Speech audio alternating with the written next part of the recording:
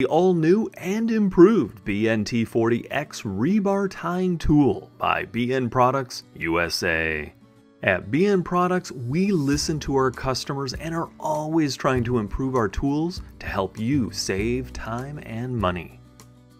Our BNT40 has been a very popular tool for us, but like all new products, there is often room for improvement. So for starters, we changed the battery configuration to slide out rather than drop down.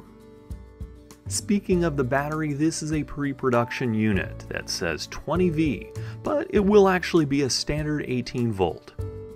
We've had some complaints that the wire would often get jammed in the nose of the unit, or it would rub and cause unnecessary wear and tear. So we've redesigned it to be one piece, maximizing the life of the tool and increasing the number of ties before having to service the unit. We've also moved the controls to the rear of the unit.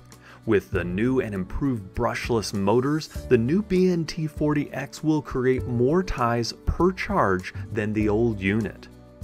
The old unit would do about 2,000 ties per charge. The new 40X will do nearly 4,000 with its 18 volt 4.0 lithium ion battery. You might notice that the handle of the new BNT40 is different. We've reconfigured it so that you can easily operate while wearing gloves. The tool comes with two batteries, a charger, four spools of wire, and a handy carrying case. Well, that's a look at the all new and improved BNT40X rebar tying tool. We are confident you will love the improvements and look forward to your continued feedback. For more information and to find a distributor,